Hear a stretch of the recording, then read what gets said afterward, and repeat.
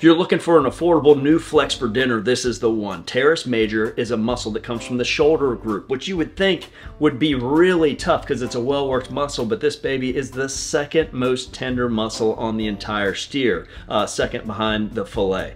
Uh, so it is one of my absolute favorite cuts. And au poivre, that old French bistro classic that I love uh, with a beautiful red wine beef stock reduction. This is a fantastic dish and what a great offering from the butcher's market market uh, to give us this one. So first thing we're gonna do is heat up our cast iron pan. I love a cast iron pan because it holds onto that heat so well. Uh, we're gonna take our Teres Major and season it up with a little bit of salt and then roll it in that large cracked black pepper, okay? This is the key, au poivre uh, with pepper, right? So this is a big part of it. Let's roll that steak around and make sure that we're fully encrusted. Now put a little bit of olive oil in the bottom of your pan and as soon as it starts to dance, it starts to smile at you, go ahead and drag that Teres Major with the peppercorns on the outside and make sure it doesn't stick and then lay it away from you, all right? We're gonna let it sear for about 60 seconds uh, to make sure that we have got a good sear and a nice cook on each side. Go ahead and do that for all four sides until we reach a temperature of around 128 degrees. We want a beautiful medium rare here. All right, let's go ahead while that's cooking and heat up those beautiful, ready to heat and eat mashed potatoes. It's gonna go perfect with this sauce and this steak. All right, let's go ahead and pull off that steak now that it's come to temperature. Uh, it's 125 now. We'll let it rest and finish up on the cutting board.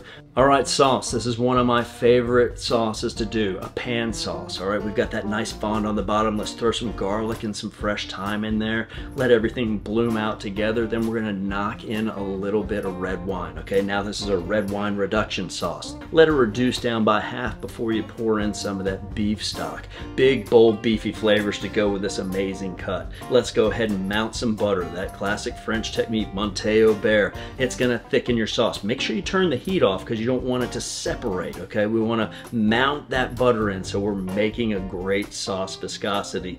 Uh, at this point, let's go ahead and put a dash of chopped parsley in. That's gonna help tighten it up even further.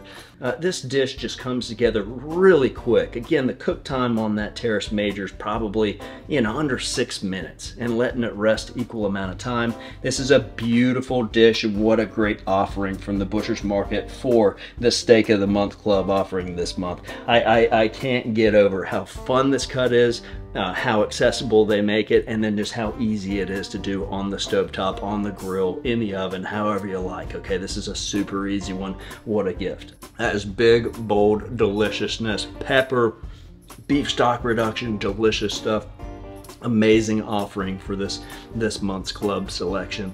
Uh, folks, thank you so much for joining us. I can't wait to see you next month for another exciting episode of the Butcher's Market Steak of the Month Club.